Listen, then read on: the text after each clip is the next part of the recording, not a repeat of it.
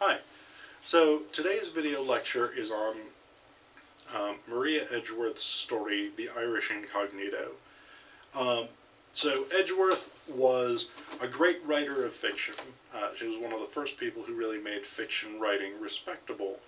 Um, she was also Anglo-Irish.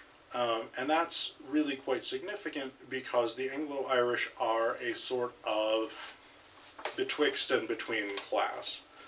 Um, so England had a long sort of history of conquering Ireland, uh, being driven out, trying to subdue the Irish, and so on and so on. Um, and so uh, by the time you get to 1800, um, England has, uh, Britain has ruled Ireland since uh, the 1650s. Um, and it has by and large been a pretty unhappy sort of relationship um, because the English nobles, English military leaders, and so on and so on, displaced a lot of the, the Irish nobility, Irish landowners, and things like this, and took over uh, what are called plantations, um, which is basically like the English created their own sort of massive estates, uh, largely in, in what's now Northern Ireland. Um, and so this was a class known as the Anglo-Irish, and they were not fully Irish because they weren't ethnically Irish, they were ethnically English, but they also weren't fully English because they came from Ireland and they owned lands in Ireland. So they didn't really fit uh, sort of in, into either uh, category. And, and Phelim O'Mooney in the story, the hero of the story, is also Anglo-Irish. Um, it says here at the bottom of 255, his mother was an Englishwoman and he had lived much with English officers in Cork. So, I mean, he is in this sort of space of betwixt and between, uh, in which he is not fully Irish, but he's not really English either. Um, but he makes this bet with his brother that uh, that Phelim can go to England, live as an Englishman uh, named Sir John Bull, and convince people that he is English for four days without being caught as being Irish eight times. Um, and the stakes of this wager are um, if Phelim wins, he will get 100 guineas from his brother. If Phelim loses, he will have to go back to Ireland and become a tradesperson uh, working with his brother in business. Um, and one of the sort of stereotypically Irish things about O'Mooney, about Phelim, is that he detests the idea of business. Um, he is what, what Edgeworth calls a traveling gentleman, or a walking gentleman. Um, so he he's not a beggar, he's not employed, um, but he needs some kind of employment to sustain himself. He just refuses to do it. Um, so he goes to England, again under the name Sir John Bull, and this is significant because John Bull is uh, a traditional representative of England and of British culture. Um, he's sort of the British equivalent of Uncle Sam for the U.S. Um, so John Bull uh, typically, uh, characteristically British name. Um, and then, and so uh, O'Mooney goes and he is convincing people uh, that he is an English uh, aristocrat. He gets caught over the course of the story seven times for being Irish, and many of them to me don't sort of make any sense, the reasons that he gets caught. Um, like he he slips up and says things that are apparently characteristically Irish but would never be said by an English person. Um, like at one point he says, um, she was, this is uh, 264 by the way, she was as well fitted out a vessel and as gallant in, and in as gallant trim as any ship upon the face of the earth. And this sort of cockney Englishman says, ah, ship on the face of the ocean, you mean? that must be an Irishman. Um, and then later on, talking about a, a, painting of Captain Murray at a party, he says, It's an incomparable and inimitable picture. it is absolutely more like than the original. And a Scottish woman says, only an Irishman would say more like than the original. Um, and I don't know if I don't know if in 1802 these would be phrases that would be characteristically Irish but not English. Um, but it's things like this. Like he, he will use a phrase that people then sort of identify him as being Irish by. Um, and and this is not necessarily, I think, meant to be realistic. It's meant to build tension over the course of the of the story, um, so that we get eventually to him being recognized seven times. Um, but before I, before we talk about um, the recognition and then sort of the upshot of all that, I want us to go back to uh, to another sort of important portion of this story, which is the role of Mary Sharperson. Uh, Miss, Miss Sharperson. Um, so uh, Sharperson and uh, and Mr. Queasy, who are both appropriately named as it turns out, um, Sharperson is the love interest of O'Mooney throughout the central portion of this story, um, and she is a wealthy heiress. Um, uh, supposed to be inheriting the estate of Rascally, Scotland, uh, which is, again, a, a, significant estate name. Um, and, and essentially what happens is that Queasy comes up with this plan that actually fits in line exactly with what O'Mooney plans um, to get Sharperson and Sir John Bull married.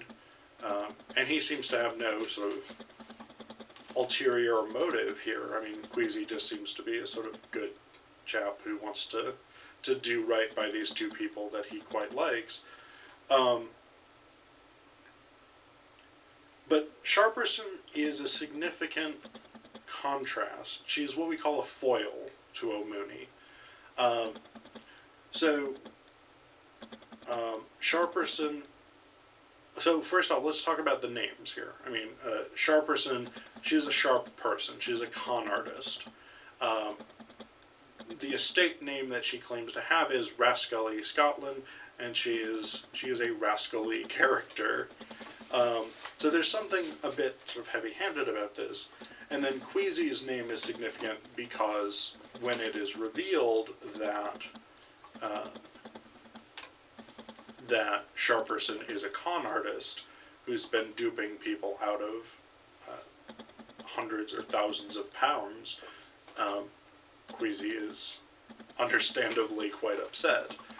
Um, so in, in this sense that she is a con artist or that she is convincing people to believe something that isn't true, um, Sharperson is connected with uh, O'Mooney, who's doing the same thing. The dif the difference, the significant difference and what makes them foils um, is that Sharperson is exploiting the people that she's trying to convince, whereas O'Mooney is convincing them to win a bet that has nothing to do with them. So when Sharperson convinces Queasy and others that she is an aristocratic lady and an heiress, she gets money out of them. Um, near the bottom of 263, Queasy says, Why, she's 500 pounds in my debt, and I know of her being thousands and thousands in the books of as good men as myself to whom I've recommended her, which I wouldn't have done for my life if I had not known her to be solid. So Sharperson is getting basically millions and millions of dollars in today's money, because this is massive amounts of money, millions and millions and millions of dollars out of these people who think that she is wealthy.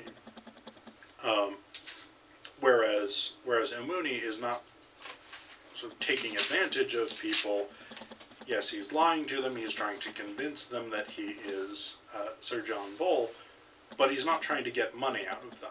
He's not conning them in the traditional sense of convincing them in order to get a material benefit from them. So there's no exploitation in what O'Mooney is doing, and this is the contrast um, so this is this is the way in which they are foils of one another, or that Sharperson is the foil of O'Mooney. Um, but let's so let's skip to the end of this. Um, so uh, O'Mooney is recognized seven times over the course of the story. Uh, if he is recognized one more time before the end of the fourth day, he loses his wager. Um, and so ultimately he sort of gets pulled up in front of a court for forgery uh, because he had signed Sir John Bull's name onto a document. Um, and, it and, and his writing was recognized by, by a clerk who knew Phelim O'Mooney's handwriting. Um, so he goes to jail. Uh, he refuses to speak, which is, of course, um, a challenge for him, uh, considering uh, the stereotype of Irish uh, loquacity, uh, the stereotype of, of the Irish as being eminent talkers, uh, and the fact that throughout the story, O'Mooney has consistently gotten in trouble because he can't sort of restrain himself from speaking. Um, so he goes to court, uh, and he's put in jail because he refuses to speak rather than lose his wager. But here's what I find really fascinating. At the very end of the story, uh, last half a paragraph on 269, it says, Having won his bet by wit and steadiness, he was now prudent in, he had now prudence enough prudence sorry he had now the prudence to give up these adventuring schemes to which he had so nearly become a dupe. He returned immediately to Ireland to his to his brother and determined to settle quietly to business. His good brother paid him the hundred guineas most joyfully, declaring that he had never spent a hundred guineas better in his life than in recovering a brother. Phelim had now conquered his foolish dislike to trade. His brother took him into partnership, and Phelim O'Mooney never relapsed into Sir John Bull. now here's what's interesting and ironic about the ending.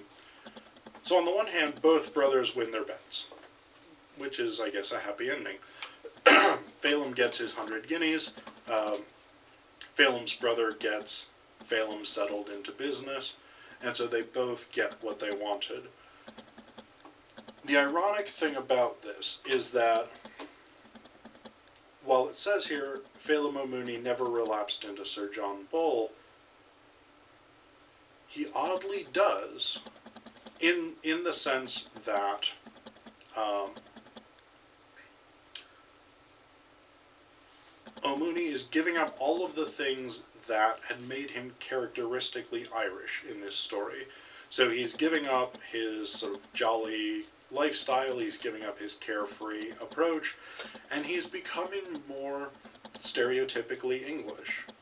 Um, because the English middle class, upper class, uh, not the aristocracy, but sort of the wealthy upper class, um, and the Anglo Irish uh, the more English of the Anglo-Irish, are characteristically tradespeople.